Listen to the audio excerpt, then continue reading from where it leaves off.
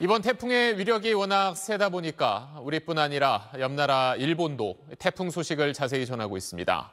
태풍의 길목에 있는 일본 남쪽 섬 오키나와에 저희 특파원이 가 있습니다. 자, 박산진 특파원 어떤가요? 그곳에선 태풍이 다가오는 게 느껴집니까? 네, 제가 지금 나와 있는 곳은 오키나와 나하시의 번화가 국제거리입니다. 제 뒤로는 이제 바람이 다소 거세지고 있습니다. 태풍은 현재 오키나와 남쪽 300km 이상 떨어진 해상에서 시속 10km로 북상하고 있어서 아직 이곳은 본격적인 태풍의 영향권에는 들어가지 않았습니다.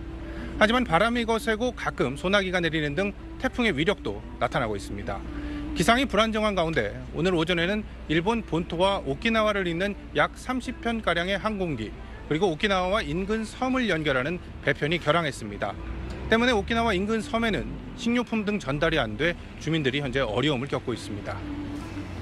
자, 일본은 뭐 태풍을 자주 겪은 나라라서 지금 대비를 많이 하고 있겠죠?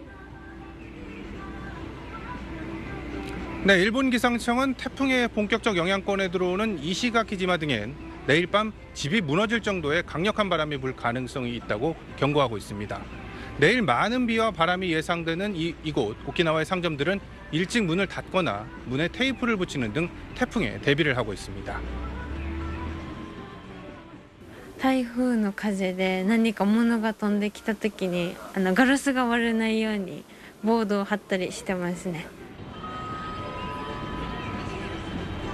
거리에 있는 모든 화분에는 그물을 쳐놓았고 호텔 등도 조형물이 쓰러질 것을 우려해 대형 그물을 설치했습니다.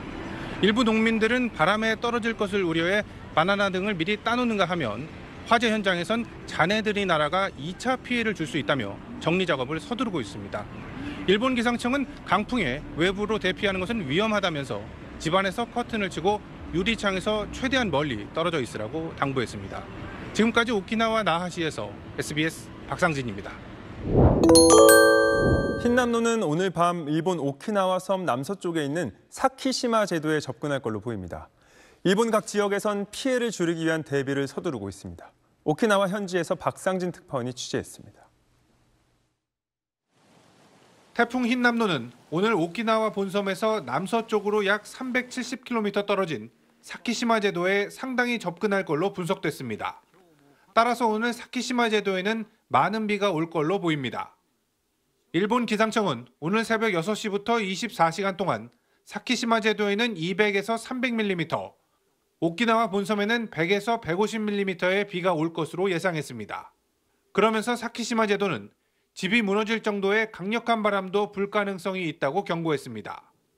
태풍의 북상 속도가 빨라지면서 오키나와 본섬과 규슈 지역 등은 비상 상태입니다. 台風の風で何か物が飛んできた時にあのガラスが割れないようにボードを張ったりしてますね 거리에 있는 모든 화분에는 그물을 쳐놓았고 호텔 등도 조형물이 쓰러질 것을 우려해 대형 그물을 설치했습니다. 일부 주민들은 태풍이 도착하기 전에 마트 등을 찾아 식료품을 미리 구입해 일부 상품은 동인하기도 했습니다. 농민들은 바람에 떨어질 것을 우려해 과일 등을 미리 따놓았고 화재 현장에선 잔해들이 날아가 2차 피해를 줄 수 있다며 정리 작업을 서두르고 있습니다. 일본 기상청은 강풍의 외부로 대피하는 것은 위험하다면서 집안에서 커튼을 치고 유리창에서 최대한 멀리 떨어져 있으라고 당부했습니다. 오키나와에서 SBS 박상진입니다. 여러분 안녕하십니까? 제11호 태풍 흰남노가 더 다가왔습니다. 위력은 여전히 강력하고 속도는 빨라졌습니다. 태풍이 오는 길목부터 가보겠습니다. 직접 영향권에 들어가기 시작한 일본 오키나와 연결합니다. 자, 박상진 특파원, 그곳에선 태풍이 느껴지고 있습니까? 네, 어제 저희가 처음으로 오키나와 현지에서 소식 전해드렸습니다만 오늘은 어제보다 바람이 더 강해졌고 비줄기도 지금 잠시 멈췄지만 하늘에서 쏟아 붓듯이 내렸습니다. 어제보다 태풍의 속도가 오늘은 점차 빨라지면서 태풍은 현재 오키나와의 남쪽 섬인 이시가키지마의 60km 부근까지 접근했습니다. 때문에 일부 지역은 현재 폭풍 경보가 내려진 상태입니다. 일본 기상청은 이시가키지마 등의 최대 순간 풍속이 초속 60m에 달한다면서 주택이 무너질 우려가 있다며 주민 대피 지시까지 내렸습니다. 네, 지금도 비가 많이 오고 있습니다만 내일이 고비가 될 것 같죠. 향후 태풍 상황 어떻게 예상하고 있습니까?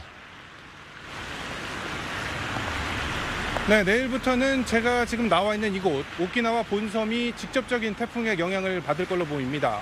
일본 기상청은 오늘 오후부터 내일 낮까지 오키나와의 남쪽 섬들은 최대 250mm, 본섬은 150mm의 비가 내릴 것으로 예상했습니다. 저희 취재진이 오전부터 오키나와 본섬을 둘러봤는데 강풍에 쓰러진 큰 나무가 보이기도 했고요. 항구에 정박한 배들은 단단히 줄로 고정한 상태였습니다. 이 외에도 이번 태풍의 영향으로 대기가 불안정해지면서 일본 규슈 지역 등에서는 국지성 호우가 내리고 있습니다.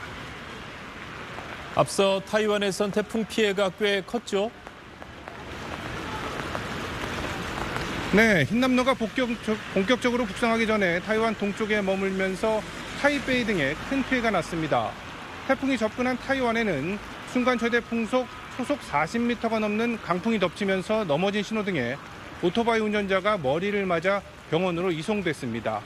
300mm가 넘는 집중호우에 북동부 산간 지역 도로에선 나무가 넘어지고 산사태가 나 교통이 차단되기도 했습니다.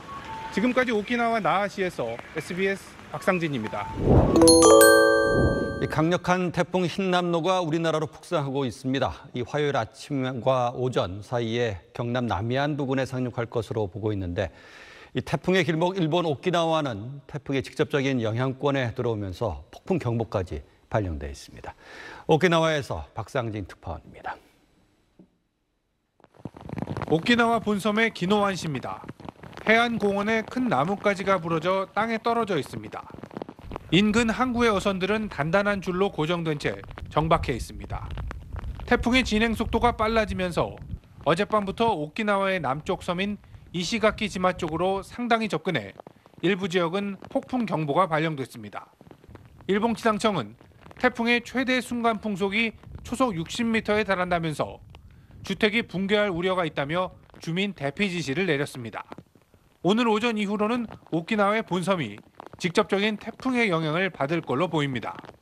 일본 기상청은 어제 오후부터 오늘 낮까지 오키나와의 남쪽 섬들은 최대 250mm, 본섬은 150mm의 비가 내릴 것으로 예상했습니다.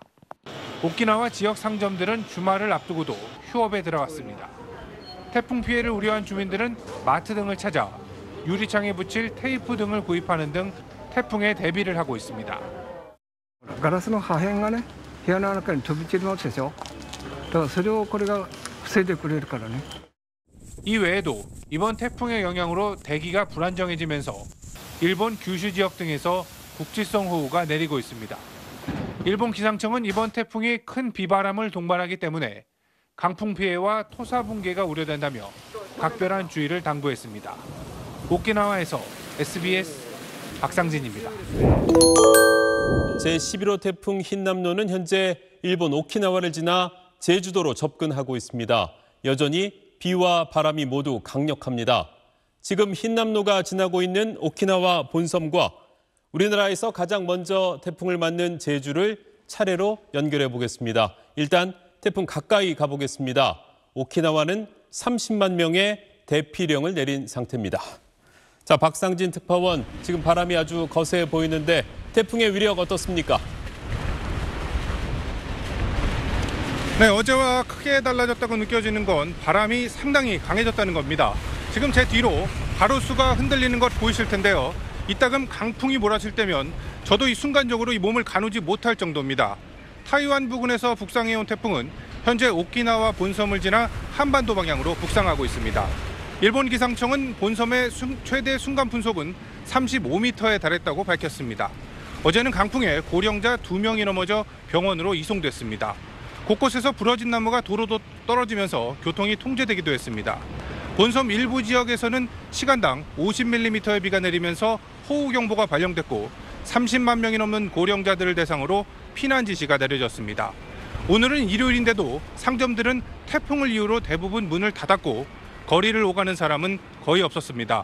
거리에 있는 모든 화분이나 건물 등에는 대형 그물이 설치됐습니다.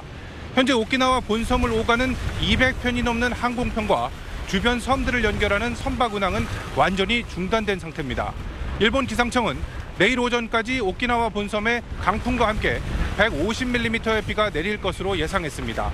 주민 모두에게 대피령이 내려진 오키나와 주변 섬들에서는 가로수가 뽑히거나 비닐하우스가 무너지는 피해를 입었고 약 8천 가구가 정전됐습니다. 지금까지 오키나와 나하시에서 SBS 박상진입니다. 흰남노가 지나온 일본 오키나와에선 피해가 잇따랐습니다. 8천 가구가 정전됐고 30만 명 넘는 사람들에게 피난 지시까지 내려졌습니다. 오키나와 현지 연결합니다. 박상진 특파원, 뒤에 비바람이 세차게 몰아치는 것 같습니다. 오키나와에서 느끼는 태풍의 위력 어느 정도입니까? 네. 네, 태풍 흰남노가 오키나와 본섬을 지났지만 이곳은 여전히 강한 바람이 불고 있습니다. 지금 제 뒤로 가로수가 흔들리고 있는 거 보이실 텐데요. 이따금 강풍이 몰아칠 때면 저도 순간적으로 몸을 가누지 못할 정도입니다.